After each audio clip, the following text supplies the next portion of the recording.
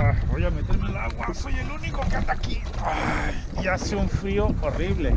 La temperatura debiera ser de 2 grados sobre cero, pero está soplando el viento del norte. Y el viento del norte es viento que viene directamente del polo aquí. Muy frío. Por eso me voy a meter aquí en la orilla. Sin tocar el agua, por supuesto. Y como es de lodo este fondo, pues sí puedo. Ahí está.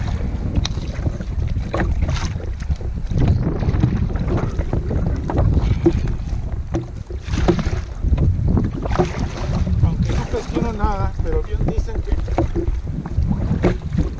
cualquier día pescando. Ay. Cualquier día pescando es mejor que, el mejor día ay.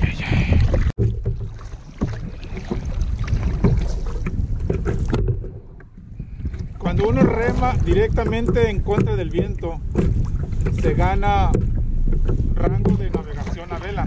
Es decir, al, al ir directo contra el viento puedo navegar en cualquier dirección porque el viento viene de allá. Puedo navegar directamente hacia atrás o hacia el norte o hacia el sur. Bueno, entonces si ya está el norte, el viento que viene del oeste, del noroeste. Entonces ahorita estoy navegando hacia el, ah, remando hacia el oeste directo. Y el resultado va a ser que voy a poder navegar al norte, al sur o al este y cualquier cualquier orientación en medio de esos tres. Remando solamente del lado derecho, porque el viento viene tan fuerte que no tiene sentido de remar de este lado. Para conservar el rumbo norte, este viento que viene del oeste, solamente remo de un lado. Cada avanza uno contra el viento cuesta, porque como este kayak es de perfil más alto, entonces lo mueve más el viento, tanto a favor como en contra. Así que lo bueno es que está más alto y no se moja uno, porque el agua salpica contra el fondo en B o el perfil en B que tiene la proa. La proa es la parte de adelante, por supuesto.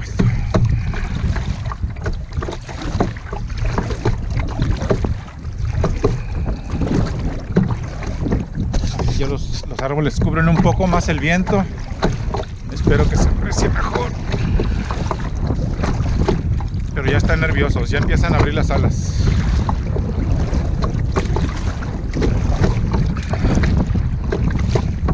Están migrando, pero seguramente que van hacia el norte, ya que ya viene, ya estamos en la primavera oficialmente. ¿A dónde van? ¿Quién sabe? Aquí llegan muchas aves migratorias a comer, a reabastecerse, a descansar. Esta es una zona protegida. Es un parque estatal, un refugio de la vida silvestre. Sí se permite pescar, pero muy limitado, así como ya lo he dicho otras veces. Muchas especies, algunas especies están libres porque son tienen una tasa de reproducción muy alta y otras no tanto. Y todo el mundo tiene que respetar las reglas, por supuesto. Ahí van estos tres. Veo que tienen en el pico, en la parte de arriba del pico, una protuberancia, como una, como un callo, no sé qué será. Otra vez el fuerte viento me tiró mi sombrero al. creo que ya me lo puedo poner. Lo vengo secando aquí. Y a pesar de que traía el barbilejo, cuando yo estaba de 6 años ahí en Sonora, así que le decían a esta cosa el barbilejo. A menos de que me traicione la memoria auditiva. Al menos así le decíamos nosotros. Si alguien sabe el nombre correcto, que me corrija, por favor.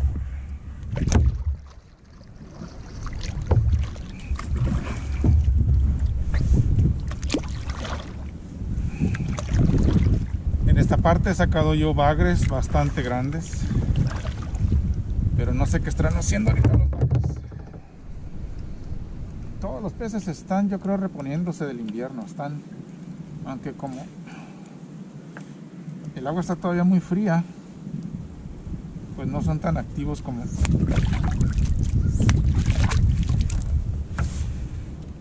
como lo son en el verano y la ya que calienta un poco más el agua el ambiente.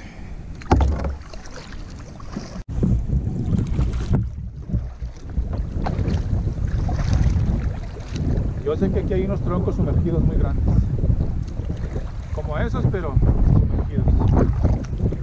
Muy pesada esa madera porque no flota.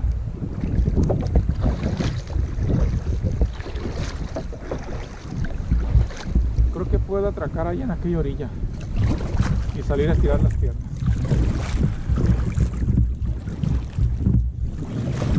Se siente la corriente fuerte.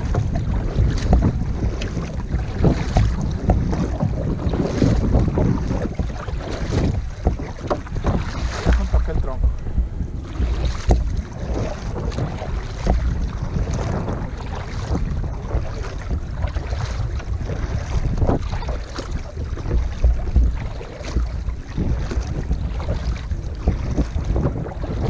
Aquí es resbaladero de hay muchas huellas.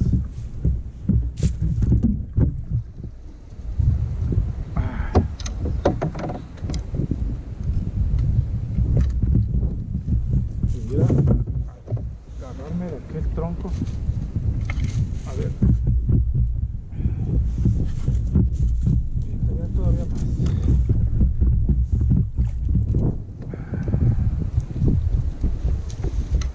Lo que quiero hacer es bajarme sin tocar el agua.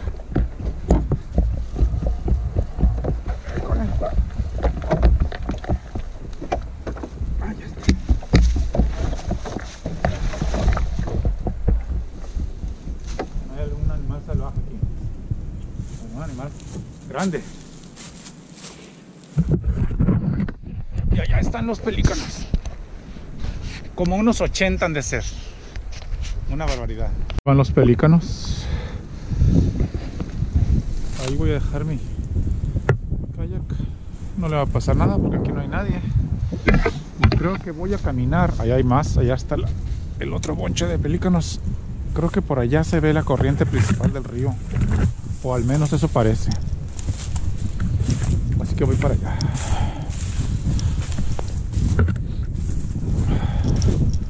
Por todos lados se ve esto. Troncos comidos por castor. Esto se vuelve una selva en el primavera y verano. Se levanta estas hierbas como un metro de altura. Casi impenetrables. Muchos venados aquí.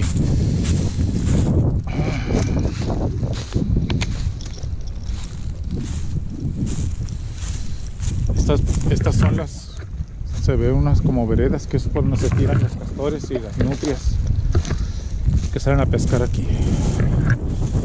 Creo que aquí me puedo poner.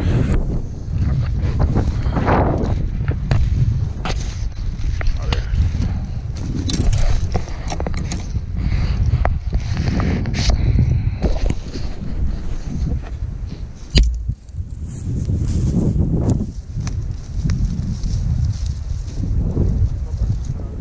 Es un señuelo de los primeros que hacía con paleta.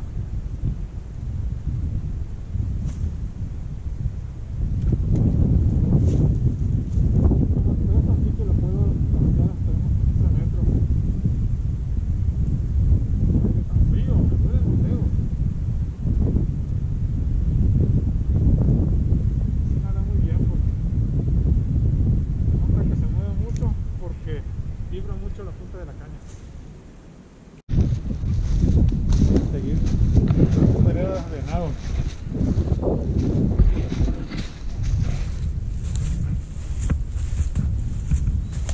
Se cruzan mucho estas, Se ve que por ahí pasan los animales porque remueven las hojas. Solo espero no encontrarme ningún ningún depredador, algún puma o algún... Porque entonces sí, se pondría muy interesante esto.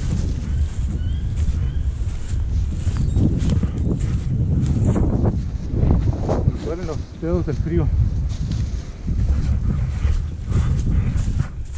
Más patos.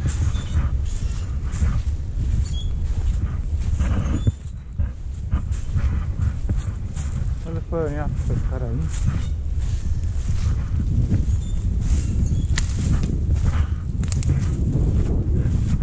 Nunca me había tocado caminar por estos lugares. Porque como les digo, siempre está muy enmontado. Es imposible caminar en tanta vegetación que crece todos los años. Un señuelo. Porque eso no es un pato de verdad. Alguien trajo y dejó aquí un cazador, yo creo. Un señuelo.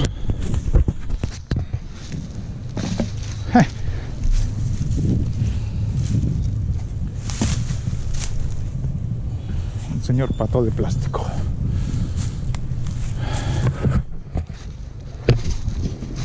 Para ponerlo en el jardín. Creo que si camino unos 100 metros más voy a llegar a la corriente principal del río. Bueno, el canal principal, que no es un río. Es un canal de los grandes ríos. El Mississippi mide 900 metros de ancho en su parte más honda.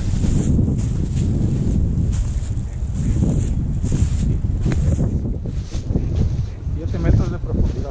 Creo que estoy llegando a... Sí, ya recuerdo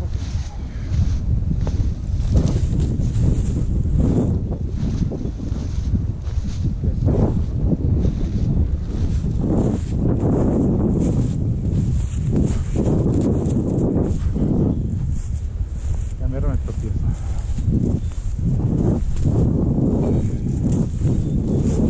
Una buena caminata para estirar los pies.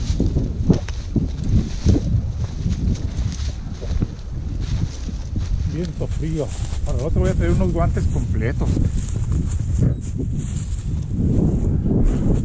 Tal vez podría cargar el kayak.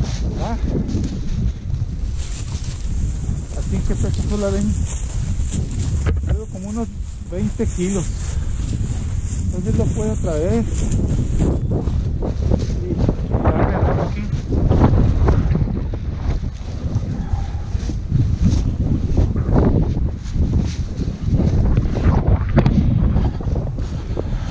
Esta ya es la es la el flujo principal.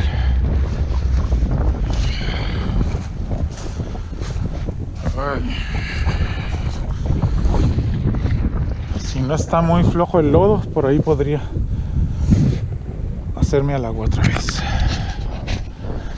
Qué bárbaro, qué frío. Se ve como sale por aquí. Y hecho de que se vea la tierra no es casualidad, es que por aquí se va. Se brinca de un charco o de una parte del río a la otra buscando alimentos y es un negocio, quién sabe qué negocio tendrá el señor Castor. Pero pues es como siempre.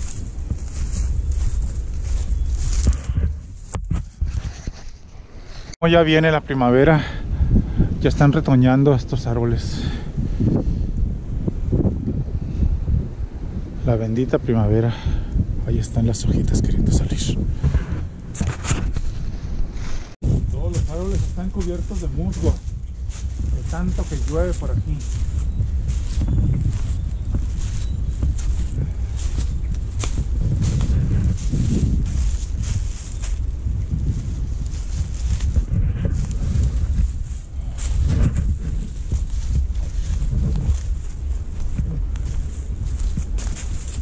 Esto lo hace un castor. Ven este, esta, corriente de agua. Tanto que sale, entra y sale. Joyas, tal vez nutrias también. Y aquí se resbalan y se tiran al agua. Cuando hay nutrias hay muchas conchas de las que sacan y se comen, pero aquí no veo no veo conchas, así que esto es una ruta de castor. El rescate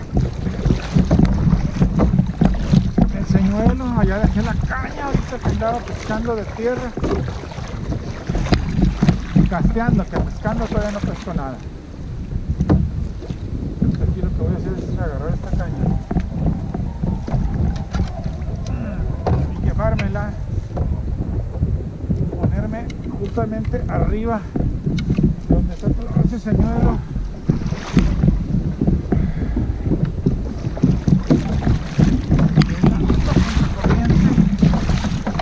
Ahorita les esa técnica para desatorar señuelos, al menos que funciona para el río.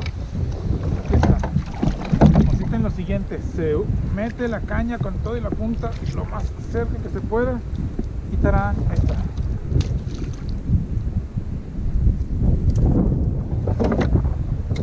Este señuelo lo he utilizado en lagos bastante profundos y ha pescado peces chicos y grandes.